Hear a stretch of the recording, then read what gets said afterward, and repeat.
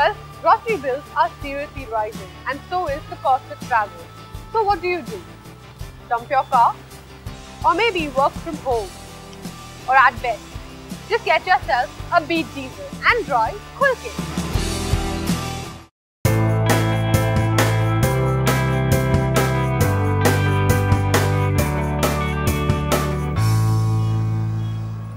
Well, look at how expressive the styling language of this car is.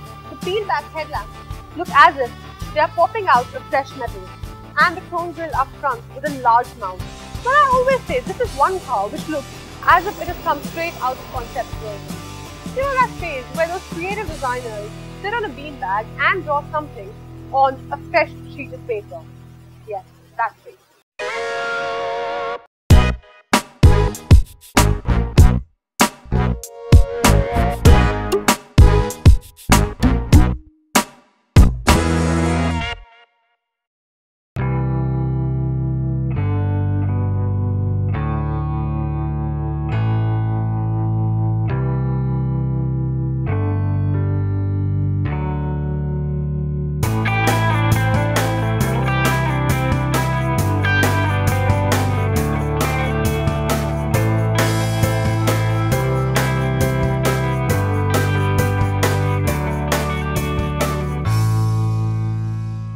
Well, this is best reserved for the status of a city car.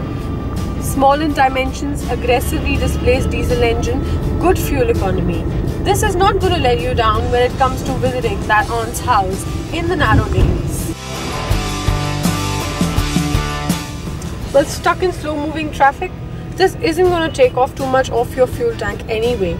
But I still have reservations in recommending this one as a perfect city car because my left foot has already begun to pain, thanks to its clutch which is not very light. The fuel economy figure that company claims is 25 kmpl, but it will not give you more than 21. Doesn't that too bring a smile on your face?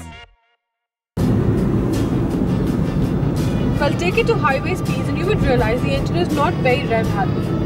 It tends to get breathless over 2500 rpm and requires constant downshifting. Despite it being a diesel, the noise, vibration and harshness are fairly well controlled. The cabin is nicely isolated. However, at speeds, the engine suddenly begins to miss the fourth cylinder.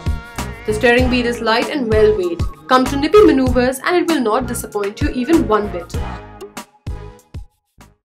Mandan Pandit say go green and we took it seriously. Well, there was a time in the US when people would actually drive down a few miles to buy a loaf of bread because it costed 50 cents less there. The Chevy Beaton's diesel avatar is going to give Indians that high. Well, I'm in groove with its music.